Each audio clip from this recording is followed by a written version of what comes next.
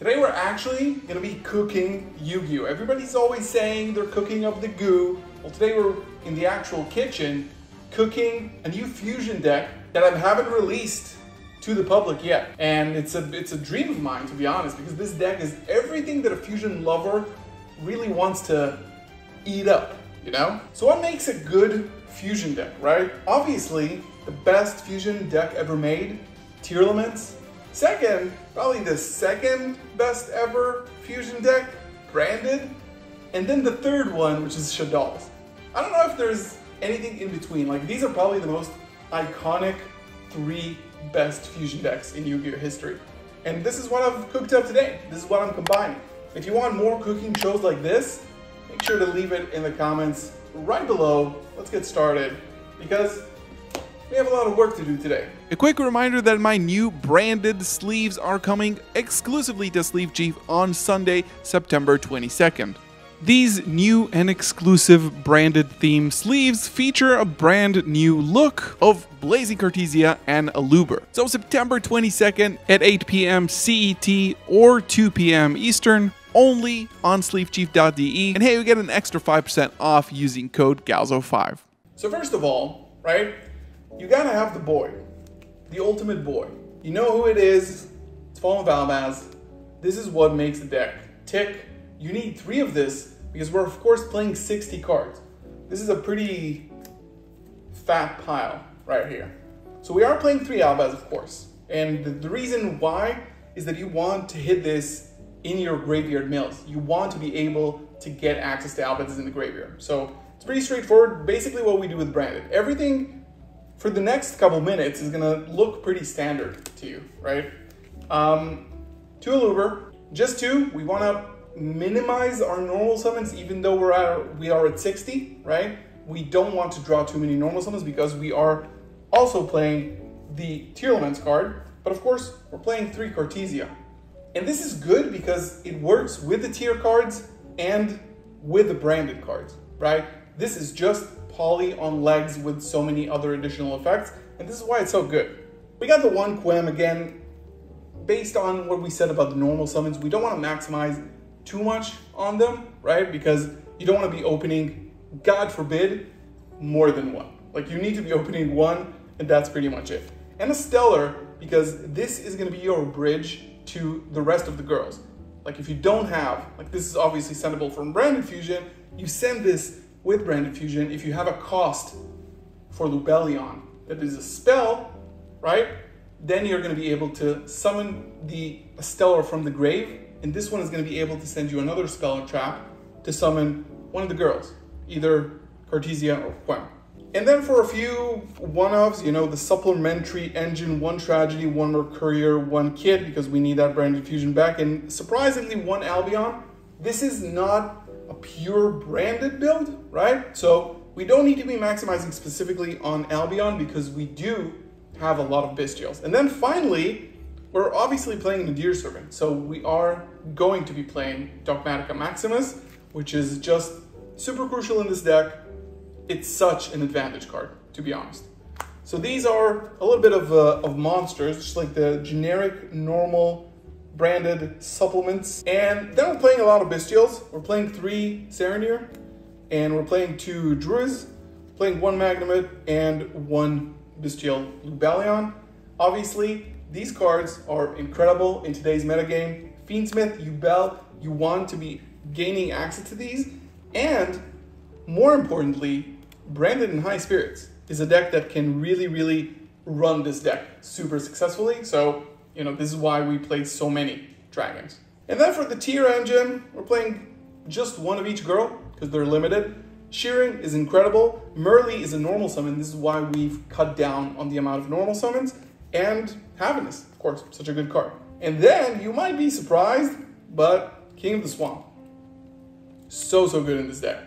This is obviously a substitute for Kitkallos, but this grabs polymerization, and this can substitute Fallen of Albaz.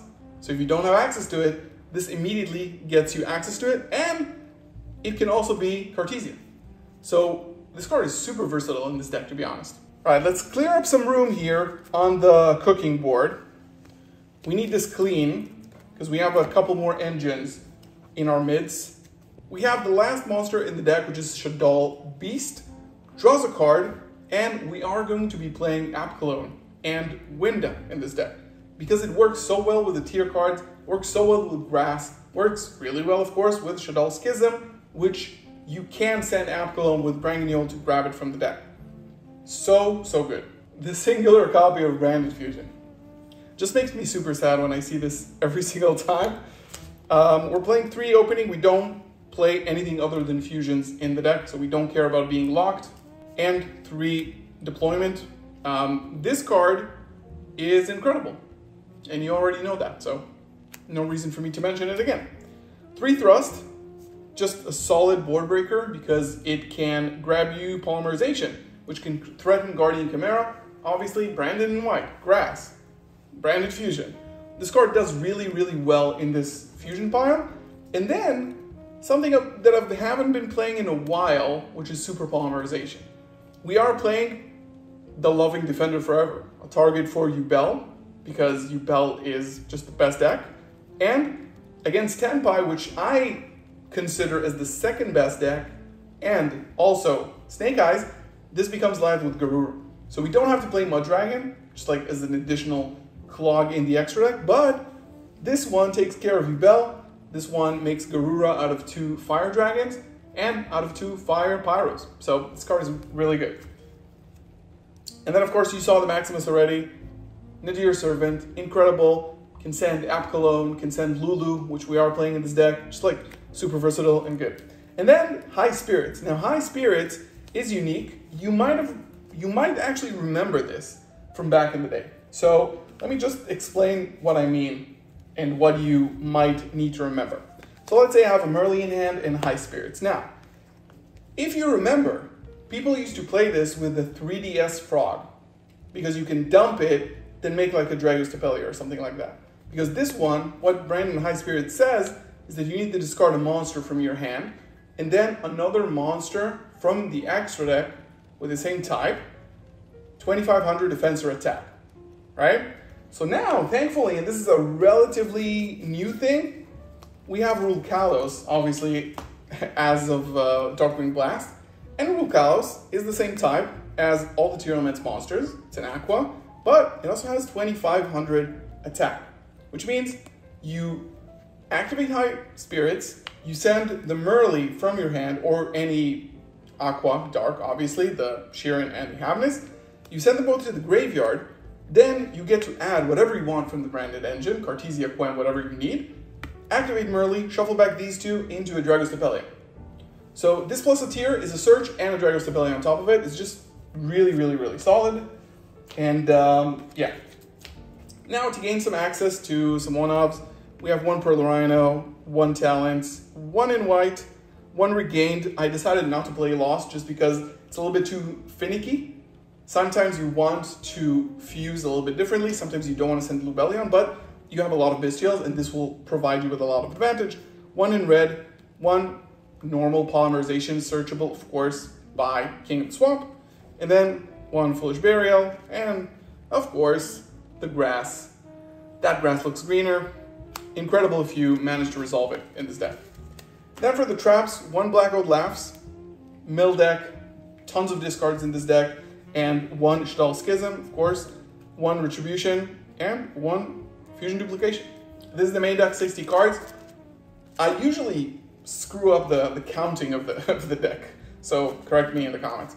So we already saw Rulkallos, incredible. Guardian Chimera, super important in this deck because King of the Swamp is essentially a board breaker going second. That's what it is. Think about it like that. It's actually kind of incredible. We are playing the one Lulu because Nadir Servant is really good with Lulu. Like if you're playing Nadir Servant, don't bother not playing Lulu because this one gets you the Quimo Cartesia missing on your end board during the end phase. Um, otherwise, I wouldn't play Lulu, right, in general. Wind and Apkallone, just the engine, right, making this on your opponent's turn. Granguignol, sending Apkallone, which grabs you the Schism, which turns into a wind on your opponent's turn. GG's, right? Garura for the Super Poly, and also a really, really good send if you already have access to your spellcasters. You send this for Um, it's a little bit better than Lulu actually because you're gonna have to banish something for the Maximus, right? So drawing one card, then banishing it, it's kind of free. And then Loving Defender Forever to deal with the Yubel boards. Really looking forward to resolve this someday. Um, Titaniclad for the Quems, Lubellion for the Shufflebacks, Furious just because it's still an incredible, incredible card.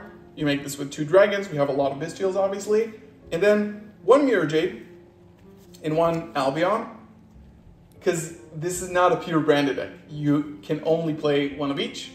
And it is what it is. And then one Grand Guignol. Again, I would play two, but uh, it's a little bit tighter in this deck specifically. We have one Quaeritis, just because it's a really, really good fusion target, really good floater. And of course, Tragos. Incredible. Let's do a test hand, see how this deck is cooking, see if we can actually run a combo here. So while I pile shuffle, you can see this beautiful playmat on the table right here. It is of course a Sleeve Chief playmat and this beautiful deck box, which I'm not sure if it's in focus or not. And uh, yeah, if you like the series, I mean, I'm trying to make deck profiles a little bit more interesting, right? Um, we could do a little bit more like live cooking where I build the deck from scratch and figure out everything. I actually had here all of my like bulk cards and sleeves and stuff. So in case we need to cook it up on the spot, we can definitely do that. And it's fun. We have like a nice island in the kitchen here. And you know, just making deck profiles interesting because I know they're not anymore.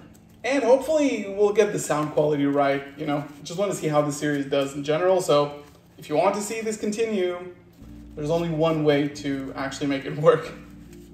All right, shuffling up and drawing five.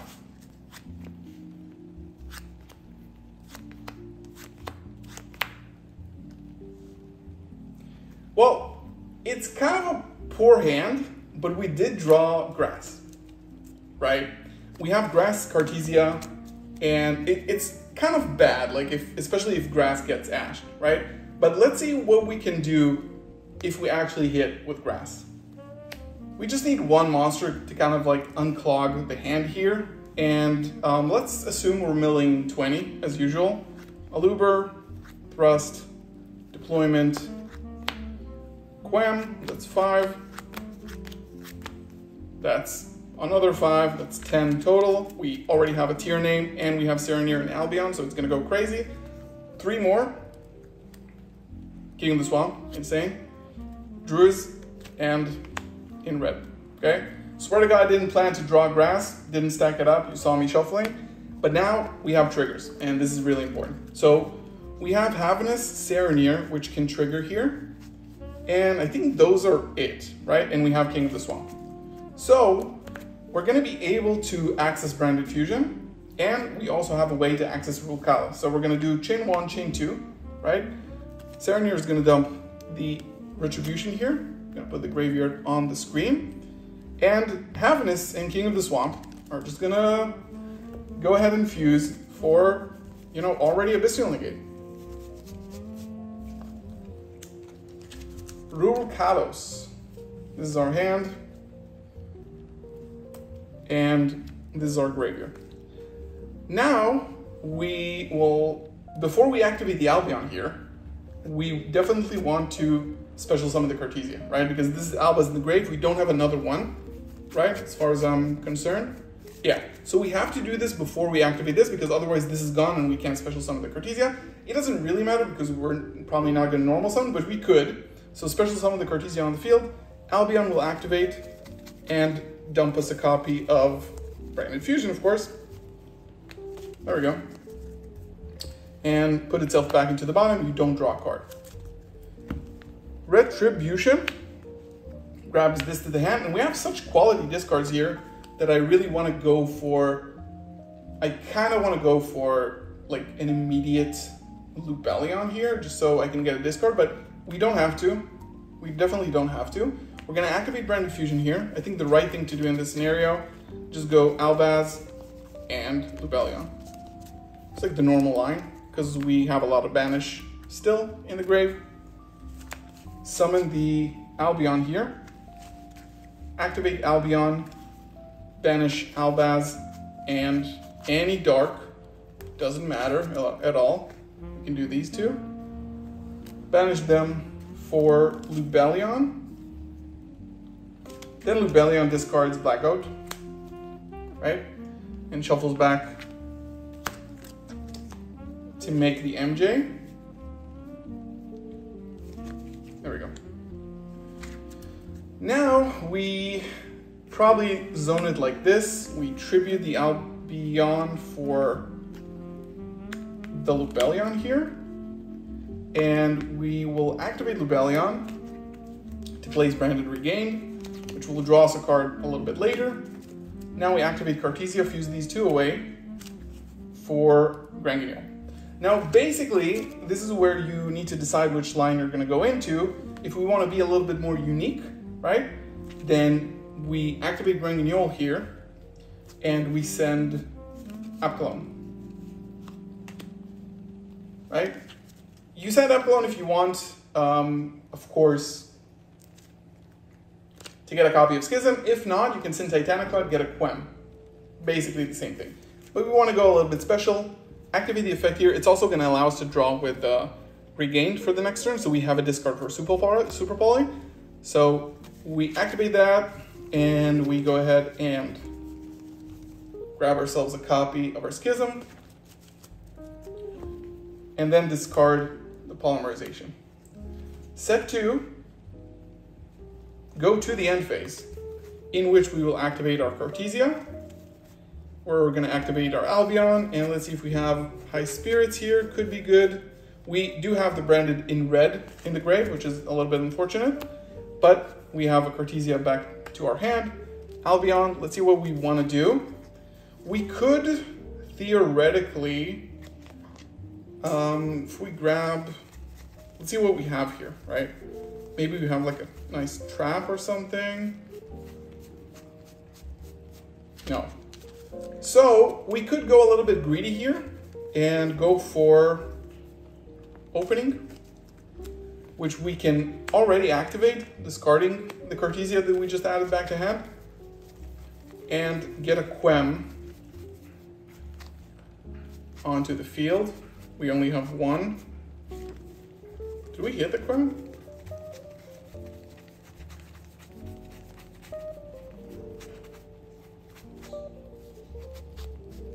Oh, we must have milled it though. Did we? I didn't see it. Oh, there it is. Okay, so it's here. So we're, we're just not gonna go for the branded opening at this stage. We still have a Cartesia in hand. We could go for, um, we could just go for high spirits. Um, that will just give us a back a card to our hand. Not the most optimal because we did mill Quem, but this is gonna be your end board, right? And during your opponent's turn, of course, especially if they have like a dark monster, that's incredible to do that. You banish the Apkallone and you will banish here. I think Albion is good to banish here because we'll shuffle it back to get a wind on board, which is always great. Send a dark monster and then regained, put back the Albion and draws another card. So yeah, this is the deck. Um, I think in terms of like experimentally, it's obviously really, really cool. You have a lot of lines here if you like Tearlaments, but still like getting locked into fusions, this might be the deck for you. I really want to hear your comments below on this type of deck profile presentation. I've had a blast doing this. Thank you so much for being here and watching, and uh, hopefully I'll see you again soon. Peace.